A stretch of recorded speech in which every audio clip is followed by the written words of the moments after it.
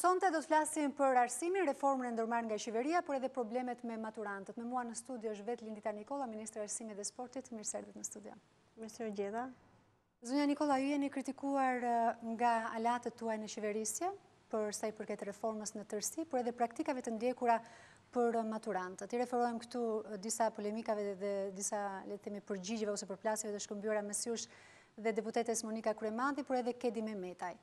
Janë politike të paktën i keni cilësuar ju për disa vota më shumë. Duke hedhur kështu, domethënë, poshtë shqetësimin e kësaj force politike për praktikat e maturantëve në veçanti? Të lutem, nuk ka as hedhje poshtë shqetësimi dhe sigurisht nuk ka asnjë lloj mhm dëshire për t'i anashkaluar çdo lloj kritike mhm dhe situate që vlen për të pasur një standard të ri në sistemin tonë të ri të pranimeve në universitet. Është një klimë padyshim bashkëpunimi dhe dëshire për të bërë më të mirën për maturantët dhe për të bërë më të mirën në gjithë atë që në fakt mbetet që është arsimi. Është plotësisht e vërtetë që ministrat shkojnë e vijnë, deputetët shkojnë e vijnë, partitë rriten, fitojnë dhe humbin zgjedhjet, ajo që është shumë e rëndësishme është që Cilësia dhe shkolla është aty, është një pasuri publike dhe maturantët duhet të ndjehen posaçërisht të qetë dhe të qartë për të vijuar zgjedhjen e tyre që është një zgjedhje me shumë rëndësi në vijimësinë e karrierës tyre profesionale nëse do të vijojnë studimet e larta apo çdo zgjedhje tjetër që ato do të bëjnë në jetë. Megjithatë, në të paktën në deklaratët e zonjës Kryemadhi nominojnë ju si drejtuese e këtij institucioni. Ju në deklaratën tuaj ishte ajo që ju thatë që janë vot, thjesht debat për vota. Por LSI ka pasur në fakt e ka ngritur këtë shqetësim prej kohësh për sa i përket maturantëve dhe duke mos u ndalur nëse ju nuk doni të ndaleni te ky debat, le të merremi me maturantët, çfarë do të ndodhë mhm këtë vit për të mos u përsëritur ajo situatë e konsideruar shpesh e paprecedentë? Cila situatë? Për shumë mësuar, çfarë ishte, çfarë ishte pa precedent? Po sigurisht, nuk mund të parashikohet në një skemë të re mm pranimesh në universitet, që një forcë politike në momentin që maturantët janë duke zgjedhur, në momentin që universitetet kanë shpallur kriteret, në momentin që përfaqësuesit e universiteteve, por edhe të Ministrisë së Arsimit, reflektojnë mhm qetësi dhe regullat të cilën duhen zbatuar, një forcë politike siç është, siç është opozita që ne kemi, të realizojë njëzet e dy statuse në Facebook, mbi dhjetë fjalë në parlamentin e fjalime në parlamentin e Shqipërisë, apo mbi tetë konferenca për shtyp, në drejtimin e kundërt, në drejtimin e, e ngjizjes së një paniku në masë dhe një paqartësie për maturantët, por që nuk kishte të bënte me atë që realisht po ndodhte. Pra nëse flasim për atë panik të stisur nga opozita, unë po jam kokulur sepse nuk mund ta parashikoja kursesi që një forcë politike dhe njerëz të arsyeshëm të vendit, nëse kanë arsye, do të bënin të mundur zbrapsjen dhe ngjalljen e një paniku kaq të madh për një sistem që nuk është një shpikje e qeverisë shqiptare, por është sistemi që sot përdoret rëndom në të gjitha vendet e Bashkimit Europian apo dhe në vende të tjera ku arsimi i lartë është një prioritet dhe ku shënon një standard cilësor në gjithë hapësirën e arsimit të lartë, pra jo vetëm me sistemin e pranimeve, por gjithë pjesën tjetër të asaj që njihet me termat e sigurimit cilësisë në institucionet e arsimit të lartë. Kjo është e vërteta, ashtu sikurse patjetër Unë jam shumë e vetëdijshme dhe të shikoj realitetin në sy, të kuptoj edhe se jo çdo skemë dhe çdo sistem dhe ca më shumë që në vitin e parë të zbatimit ajo të jetë një skemë perfekte, ndaj ne kemi axhustuar dhe po ecim shumë më shpejt në kohë së bashku me institucionet tona të arsimit të lartë, për të bërë të mundur informimin e maturantëve, për të bërë të mundur transparencën dhe në fund të ditës për secilin prej maturantëve dilema e vetme të jetë, vetëm merita e tyre dhe konkurrenca mbi bazën e meritës, po ku ku implementohet një sistem i drejtë, një sistem që ofron më shumë autonomi për universitetet, një sistem që ka më shumë transparencë për gjithë maturantët që bëjnë zgjedhje. Përsa i përket shqetësimeve që vijnë, Jo vetëm që shqetësime që vijnë nga deputetë apo nga forca politike, por edhe shqetësimet që vijnë përmes mediave nga maturantë të ndryshëm mhm. apo nga prindër të tyre, ne jo vetëm i kemi ndjekur dhe shtjelluar deri në fund, kanë marrë ata përgjigje, unë personalisht deri në këtë moment që flasim kam takuar mbi 10.000 maturantë, sy më sy, larg pranisë së mediave, duke trajtuar me shumë kujdes çdo dilemë që ato kanë, duke informuar dhe duke qartësuar nga aja tek zhëja, jo vetëm procesin e pranimeve në universitet, por edhe mënyrën se si ato duhet të qartësojnë kriteret e universiteteve dhe t'i përplasin ato në thojza me kredencialet e tyre, pra me arritjet e tyre, në mënyrë që merita e çdo maturanti të jetë fituese dhe ai të jetë një pjesë e institucioneve tona të arsimit të lartë. Ka qenë thjesht një çështje e fabrikuar politike, po thoni zonja Nikolla, nuk ka pasur për shembull studentë të cilët me mesatare të lartë nuk shkuan në degët që donin apo që një pjesë e tyre u trëmbën nga situata e krijuar dhe u regjistruan direkt në universitetet private. Jo sapo i dhatë dhe përgjigje, u trëmbën, po nga kush u trëmbën? Sepse universitetet thonin që kuotat janë të lira, kanë dalur jo në shumicë, por disa dekanë të universiteteve publike që thonin kuotat janë të lira. Unë posaçërisht disa herë në daljet publike qetësi kuotat janë për ju, ndiqni gjithë rregullat që vijnë nga universitetet, zbatoni në kohë procesin e regjistrimeve, kjo ka qenë ajo që është bërë për sa na përket neve, ndërsa paniku që ka ardhur nga faktorë të tjerë që nuk lidhen me gjithë procedurën universitare apo të Ministrisë së Arsimit, sigurisht që ndoshta ka ndikuar tek maturantë të caktuar, megjithatë ajo që është shumë e rëndësishme të themi që shifrat flasin për një situatë krejt tjetër. Shifrat flasin për një situatë të përmirësuar të pranimeve në universitet, rreth pesëdhjetë e gjashtë për qind e programeve të studimit në institucionet tona të arsimit të lartë publik sot reflektojnë që kanë një cilësi të shtuar pranimet në universitet. Unë kam kontaktuar në Universitetin e Vlorës, Gjirokastrës, Korçës, Shkodrës po ashtu, Elbasanit, dhe në masë është opinioni dhe pohimi që Është nga vitet e para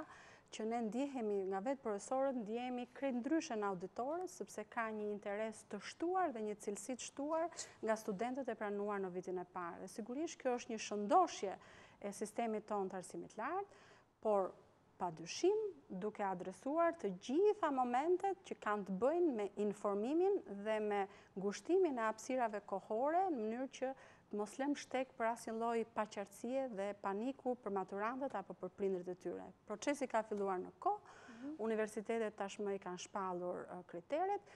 Është dedikuar pothuajse tre javë informimit të qytetarëve, të maturantëve jo vetëm në Tiranë, por në të gjitha qytetet e vendit pranë drejtorive dhe zyrave arsimore. Jam kurioze çfarë keni kuptuar nga takimet që keni zhvilluar me studentët në rrethe, keni pasur edhe takime në rrethe apo jo, keni pasur le të themi një kontakt të drejtpërdrejtë, ju e përmendët pak, por cila ishte ajo pika kryesore ku studentët le të themi kanë paqartësi dhe që mund të shkaktonte një kaos të dytë, shpresojmë që jo? Absolutisht, nuk ka asnjë lloj paqartësie, vetëm pyetje, pyetje normale për një sistem të ri, se sa dhe si kriteret duhen lexuar, dhe unë atë që kam bërë në fakt në të gjitha këto takime, gjej rastin ta përsëris edhe në studion tuaj, është ekzaktësisht që një maturante nga Berati më tha se si kishte mundur të fitonte në tre universitete amerikane, një prej të cilëve në pesëmbëdhjetë universitetet më të mira. Teksa më pyeste se si do të jetë procesi i aplikimeve, më tha që unë kam fituar në tre universitete dhe i thashë si veprove. U ula me laps dhe me letër, mora hapa faqet e universiteteve, mora informacion se kush janë universitetet në programe më të mira në programet e studimit që unë doja, hyra në website-et e tyre dhe reflektova kriteret me rezultatet e mia. Dhe e ftova vajzën dhe të njëjtën gjë duhet të bëjnë në fakt të gjithë maturantët e Shqipërisë, Pikërisht këtë proces, secili, secili rezultatet e tyre në raport me kriteret e shpallura për çdo program studimi. Kemi vënë shumë përpara në dispozicion të maturantëve dhe portalin ualbania.arsimi.gov.al është një portal në ndihmë të maturantit, ku universitetet vetë kanë hedhur kriteret dhe shumë informacion që lidhet me kurikulat e universitetit, me pedagogët, Aty, maturantët do të gjejnë jo vetëm kriteret për çdo program studimi, do të kenë forumet me të cilën mund të debatojnë dhe diskutojnë problema, problematika që ato kanë dhe të marrin përgjigje në mënyrë të drejtpërdrejtë nga universiteti, të shikojnë nëse programi i infermierisë apo i drejtësisë Në sa institucione të arsimit të lartë në vend zhvillohen, ku ndryshon kriteret e njërit universitet nga kriteret e universitetit tjetër dhe më pas për të vazhduar me gjithë procesin. Sa faza do të jenë këtë vit? Vitin e kaluar ishin tre faza, po jo, dhe nga aplikimi në regjistrim, ishte një kohë e gjatë. Po pra, nuk do të jetë tre muaj. Nuk do të jetë kjo kohë e gjatë, nuk është tre muaj në fakt. sepse s'ka si të jetë tre muaj, ndërkohë që provimet e maturës shtetërore gjithë korrigjimi përfundon në fund të korrikut, por ajo që është shumë e rëndësishme do të jetë një kohë shumë e shkurtur, ne po e diskutojmë me universitetet. Do të jetë dy javë sa ç'kanë propozuar vetë universitetet, do ta shkurtojnë, do ta merrni në konsideratë këtë gjë? Ku kanë propozuar dy javë universitetet? Ekspertët kanë propozuar. Nuk e di ku e kanë bërë këtë propozim ekspertët, sepse tryeza dhe grupi i cili po merret me përcaktimin e modaliteteve të sistemit të ri të pranimeve, ende nuk ka draftuar mënyrën përfundimtare. Ajo që është shumë e rëndësishme, do të ketë një kalendar të qartë që nga dita e fundit, pra që është fillimi i universitetit 15 tetori dhe deri në ditën kur mbarojnë provimet e maturës shtetërore, për të shteruar gjithë këtë proces në kushtet e një transparence të plotë dhe të moslejimit dhe të cedimit të skemës nga asnjë lloj arsye. Propozimet u bënë në fakt në kohën kur pati edhe kur ishte situata e vitit të kaluar nga universitetet, megjithatë formularët. Janë gati formularët e këtij viti, kanë dalë dhe cilat janë le të themi do të ketë të reja këtë vit, janë njësoj si të vitit të kaluar, çfarë duhet të dinë studentët për formularët? Po studentët e dinë, njëri është formulari i parë i aplikimit me të cilën fillojnë procesi i hedhjes së të dhënave të çdo maturanti në në faqen e-Albania dhe më pas përcaktimi se cilat lëndë do të marrin me zgjedhje në provimet e maturës shtetërore. Pra, nuk ka ndryshuar asgjë, është vetëm një formular, formulari i parë që lidhet me procesin e maturës shtetërore, të cilën ashtu sikurse kjo qeveri kish premtuar që do të ishte një proces dalës dhe jo hyrës për në universitet, realizohet, është viti i dytë që realizohet dhe më pas të gjitha momentet e tjera që lidhen me sistemin e ri të pranimeve. Dhe Pa dyshim, qoftë portali, qoftë qendra e shërbimeve arsimore, por edhe universitetet janë duke bërë të mundur qartësimin, informimin dhe axhustimin e çdo problematike, sado e vogël që u shfaq një vit më parë. Ndërkohë kemi dhe ligjin e arsimit të lartë, i cili gjithashtu është kritikuar, por edhe jo vetëm nga aleati juaj në qeverisje, por edhe nga opozita. Ka funksionuar ky ligj, zonja Nikola, veçanërisht pavarësia e universiteteve, ka dhënë benefitet e saj cilat janë këto? Po sigurisht, është një ligj që nuk mund, nuk rekë dhe besoj për askënd, nuk mendon që një ligj fillon të japi efektet e veta menjëherë që vitin e parë të implementimit, Por, edhe në vitin e parë të implementimit, ligji i ri për arsimin e lartë ka dhënë efektet e veta, tashmë strukturat e reja universitare që nga departamentet, drejtuesit e njësive kryesore ashtu dhe drejtuesit e universiteteve u përfshinë në një proces zgjedhor në bazë të ligjit të ri të arsimit të lartë, janë konstituuar bordet e administrimit dhe ka filluar procesi po ashtu për të vijuar më pas edhe me përzgjedhjen e administratorëve. Për vit herën e dytë institucionet e arsimit të lartë do të zgjedhin në bazë të autonomisë së tyre të zgjeruar, do të përcaktojnë Kuotat e pranimit në vitin e parë, po ashtu do të përcaktojnë tarifat e studimit, e me radhë të gjitha momentet e tjera që sjell ligji i ri për arsimin e lartë. Ka ndikuar ky ligj në cilësi? Ligji i ri në arsimin e lartë,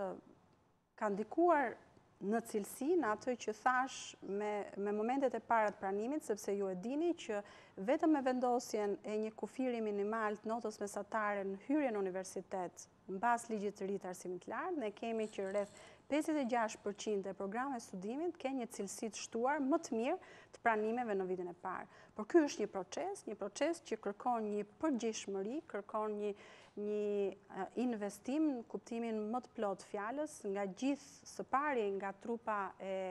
pedagogëve, profesorëve, drejtuesve, por nga ana tjetër edhe një rishikim i aktivitetit të gjithë aktorëve të tjerë që janë të lidhur domosdoshmërisht me cilësinë e arsimit të lartë, sepse arsimi i lartë dhe institucionet e arsimit të lartë janë një aset i vyer, janë një e mirë publike dhe si e tillë duhen trajtuar jo vetëm në këtë qasje, por edhe me një përgjegjshmëri të shtuar nga gjithë aktorët, ku këtu pa dyshim nuk përjashtohet edhe edhe qeveria në gjithë aktivitetin e saj, por kisha parasysh sipërmarrjen, pushtetin vendor, për të qenë pjesë shumë aktive në jetën universitare dhe nga ana tjetër, për t'i kthyer, për t'i kthyer, uh, departamentet, kërkimi shkencor, gjithçka që zhvillohet në procesin akademik të institucioneve tona të arsimit të lartë, në një aset të vyer të politikëbërjes së vendit. Çfarë ndodh me tarifat? Ka akuza që tarifat janë rritur, por nga ana tjetër kemi edhe zërin tuaj që tarifat nuk janë rritur. Pastaj është edhe një shqetësim tjetër që nuk është vendosur nga ministria tavani i tarifave. Le të themi sa mund të shkojnë, minimalja ose maksimalja, maksimalja në këtë rast. Ligji i ri i arsimit të lartë përcakton që Është qeveria ajo që përcakton tarifën maksimale dhe neve do të do të çojmë pranë institucioneve të arsimit të lartë, kemi pritur edhe konstituimin e bordeve, sepse ligji i ri i arsimit të lartë ia njeh bordeve edhe këtë moment që lidhet me përcaktimin e tarifave të studimit, dhe ne do të vendosim si tarifë maksimale, sërish tarifat maksimale që janë prodhuar, që janë përcaktuar, në fuqi për institucionet tona të arsimit të lartë publik, pra nuk do të ketë rritje të tarifës maksimale. Ndërkohë, më vjen shumë mirë që e bëtë këtë pyetje dhe do doja që të sqaroja një herë e mirë të gjithë shikuesit për faktin e një gënjeshtre të madhe që lidhet me tarifat e e studimit dhe sidomos kur rritjen e tarifave të studimit e lidhin posaçërisht me ligjin e ri të arsimit të lartë. Ligji i ri i arsimit të lartë ka hyrë në fuqi në vitin 2015 dhe që pas hyrjes së ligjit të ri të arsimit të lartë ne nuk kemi asnjë rritje të tarifave të studimit. Por ndërkohë që nga viti 2009 deri në vitin 2013 ne kemi rritje të tarifave të studimit. Pra, nëse tarifa minimale në vitin dy mijë e nëntë ishte dymbëdhjetë mijë lekë, ajo u rrit me njëzet për qind, njëzet pikë dy për qind, duke shkuar në katërmbëdhjetë mijë e katërqind e tridhjetë lekë, tarifa mesatare u rrit me njëzet e pesë për qind, ndërsa tarifa maksimale nga treqind mijë, nga tridhjetë mijë, më falni me trea, u rrit në dyzet e pesë mijë lekë ose pësoi një rritje me pesëdhjetë për qind, pra në qeverinë e shkuar. Gjatë kësaj qeverie nuk është bërë asnjë sekondë. Kjo rritje tarifash ka impaktuar 25.000 studentë, duke sjellë një efekt financiar në institucionet tona të arsimit të lartë, një vlerë pra të ardhura, prej 128 milion lekësh. Ndërkohë që tarifat janë rritur vetëm në vitin 2014, në një vlerë të tillë dhe u rritën në vitin 2014, sepse ju e dini pasi ne verifikuam kriteret e ligjit, kemi bërë një sërë ndërhyrjesh të shëndetshme në institucionet tona të arsimit të lartë, dhe posaçërisht, pra, jo vetëm mbyllëm 18 atëherë, ka shkuar 22 numri i universiteteve private që janë mbyllur, por nuk dhamë dhe kuota në sistemin part-time, gjë që pamundësonte një set, një, një, një, një sasi të ardhurash për universitetet. Dhe ekzaktësisht, në vitin Dy mijë e katërmbëdhjetë, tarifa minimale është rritur nga katërmbëdhjetë mijë e katërqind e tridhjetë mijë lekë në njëzet mijë lekë, ose është rritur me njëzet e shtatë pikë tetë përqind. Tarifa mesatare nga njëzet mijë e gjashtëqind lekë është rritur në njëzet e gjashtë mijë e njëqind lekë, ose njëzet e shtatë përqind. Dhe tarifa maksimale nuk është rritur Ose është rritur 0 lekë. Pra, nga kjo rritje tarifash janë impaktuar 14.000 studentë, nga 23.000 që janë impaktuar në rritjen e tarifave të 4 viteve më parë, dhe një efekt financiar 75 milion lekë. Nga viti 2014, deri në momentin që flasim, nuk kemi asnjë rritje të tarifave në institucionet tona të arsimit të lartë publik në vend, e ca më shumë, asnjë rritje që lidhet me ligjin e ri të arsimit të lartë. Kjo është një gënjeshtër e madhe, për të cilat universitetet kanë gjithë të drejtën, por dhe ju të investigoni, të investigoni pranë institucioneve të arsimit të lartë, si ka qenë historiku i rritjes së tarifave, dhe unë nuk dua këtu të shpreh asnjë lloj paragjykimi, sepse Kjo gjë ka ndodhur për arsye objektive, është një gjë që nuk ka pse të paragjykohet, por duhet thënë e vërteta deri në fund duke investiguar pranë institucioneve të arsimit të lartë. Një tjetër akuzë është për mësues për Shqipërinë. Një strategji të cilën ju e keni prezantuar dhe akuza është sepse me këtë portal janë punësuar militantë ose mbështetës tuaj duke bërë kështu në mënyrë drejtpërdrejt presion ndaj mësuesve të cilët punojnë pavarësisht bindjeve politike. ose të lartë këtyre. Nuk e kuptoj, nuk e kuptoj se si mund ta besoni këtë gjë, që nëse futemi në një sistem vlerësimi